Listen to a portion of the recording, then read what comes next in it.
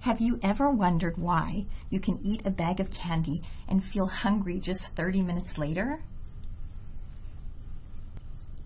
It has to do with something called the glycemic index of the food or the combinations of food that you choose to eat. So let's compare two snacks. First, let's look at a candy bar. Then, the alternative snack, a bowl of brown rice with some stir-fried broccoli on top. The candy bar is high in simple sugars like sucrose and glucose. They're carbohydrates your body can really quickly break down and absorb.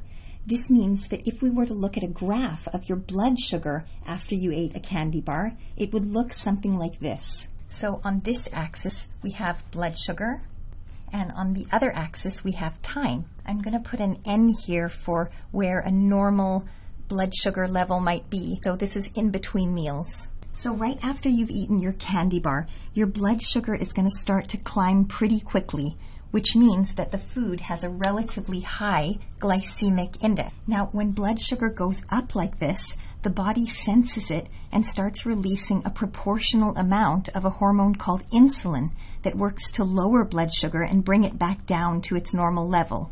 So when blood glucose or blood sugar shoots up like this, insulin will also shoot up, but there'll be a bit of a time lag. And because of that time lag, there's going to be a period of time when the blood sugar actually dips lower than it should, and this is when you feel hungry. Now, if on the other hand, you were to choose the broccoli and brown rice as your snack, your body would have to work harder to break down the carbs in that food. So the graph would look something more like this. Again, we have blood sugar on our y-axis and time on our x-axis and here's our normal, here's our N. So right after the bowl of broccoli and brown rice, your blood sugar is going to go up more slowly than it did when you ate the candy bar.